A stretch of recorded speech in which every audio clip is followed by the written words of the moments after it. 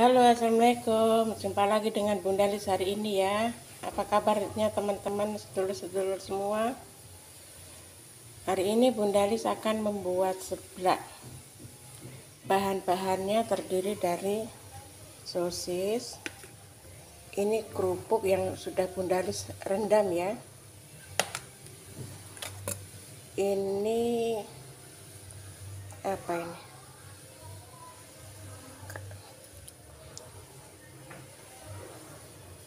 terus telur dua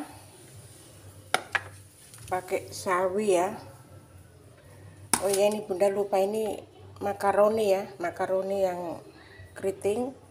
Nanti bunda Lis akan tambah ayamnya. Kebetulan ada ayam sisa dan bumbunya terdiri dari bawang putih bawang merah kencur garam dan rica sekarang bunda Lis akan tumbuk dulu ya bumbunya biar halus Oke bunda-bunda. Ini bumbu seblaknya sudah halus ya. Sekarang Bunda Lis akan menggongsonya Oke. Oke bunda-bunda semua. Sekarang Bunda Lis menggongso bumbunya ya.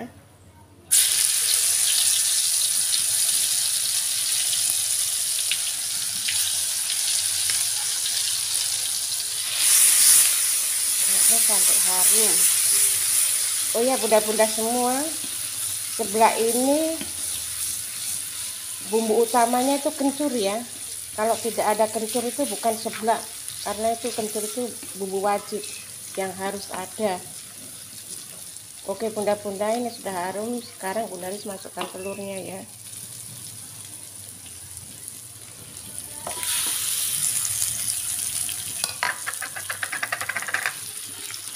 Ini bunda Lis ini karena nggak ada bakso jadi di skip saja.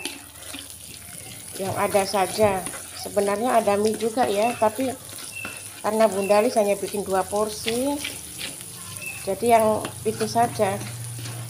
Yang saya kerupuk dan makaroni dan sawi juga saus Oke sekarang siram kuahnya ya.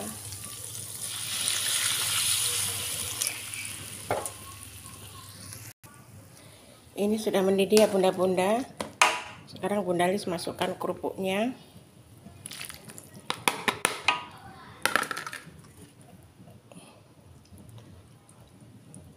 Makaroni dan sosisnya dan juga bumbu penyedapnya. Kita aduk terus ya bunda. Nanti terakhir baru masukkan sawinya ya.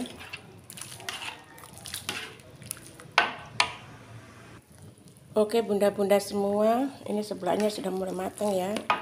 Sekarang bunda Lis masukkan sawinya ini sebelah ini ada dua macam ya bunda-bunda. Ada sebelah kering dan sebelah basah. Apalagi kalau ditambah ceker ayam itu nikmat sekali bunda. Tapi bunda Lis adanya ya ini. Tapi ini sudah nikmat bunda. Karena ada suiran ayam yang kemarin sisa bunda Lis masak. Campurkan di sini ada sosisnya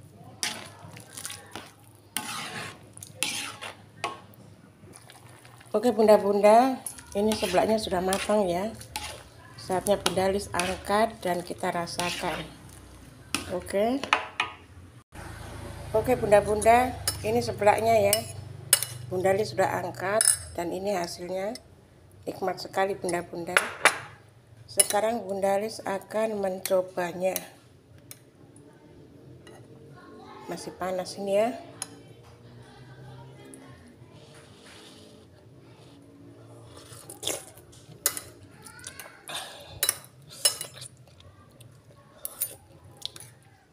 Enak sekali bunda. Sip. Mantap. Bunda-bunda boleh mencobanya di rumah ya.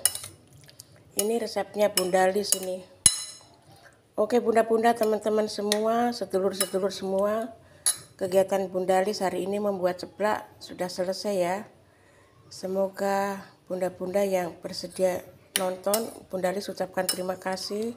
Dan jangan lupa subscribe, like, komen, dan share ya. Terima kasih bunda-bunda. Assalamualaikum.